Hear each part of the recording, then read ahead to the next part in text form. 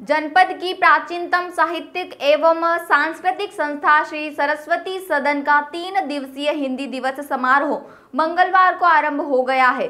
समारोह का शुभारंभ माँ सरस्वती के चित्र पर माल्यार्पण के साथ मुख्य अतिथि के रूप में बैंक ऑफ़ इंडिया के आंचलिक राजभाषा अधिकारी राकेश कुमार ने किया।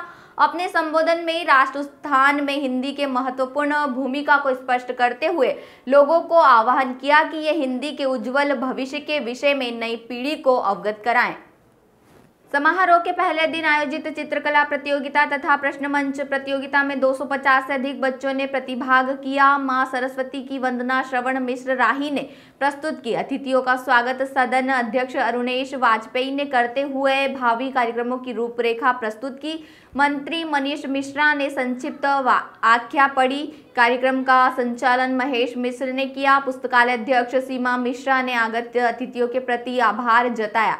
चित्रकला प्रतियोगिता अनिल श्रीवास्तव और गिरीश डिडवानिया के संयोजन में संपन्न हुई।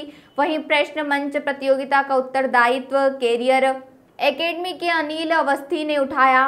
प्रश्न के सही उत्तर देने वाले प्रत्येक प्रतिभागी को पुरस्कृत किया गया। चित्रकला प्रतियोगिता सीनियर वर्ग वैभव मिश्र, रफी अहमद, किदवाई ई कॉलेज ने प्रथम द्वितीय स्थान निहारिका सिंह, वेणी माधव विद्यापीठ, इंटर कॉलेज तृतीय स्थान पर मोनू गुप्ता एसडीई कॉलेज तथा अर्पणा सिंह को सांत्वना पुरस्कार वेणीमाधव विद्यापीठ ई कॉलेज को प्राप्त हुआ। जूनियर चित्रकला प्रतियोगिता यशवर्धन प्रथम सेंट जेम्स स्कूल द्वितीय स्थान, साक्षी आर्या, वेणी माधव विद्यापीठ, ई कॉलेज तृतीय स्थान, Harsh Verma Saint James School तथा Aditya Kashyap Ram Junior High School को प्राप्त हुआ। प्रश्न मंच अनुराग गुप्त के सनातन धर्म इंटर कॉलेज ने प्रथम स्थान प्राप्त किया। द्वितीय स्थान, आस्था सिंह बनारस हिंदू विश्वविद्यालय तृतीय स्थान पर आज्ञा सिंह सेंट जेवियर स्कूल तथा आयुष कटियार, रफी अहमद किदवाई इंटर कॉलेज को सांत्वना पुरस्कार प्राप्त हुआ। हरदोई से अखिलेश सिंह की रिपोर्ट।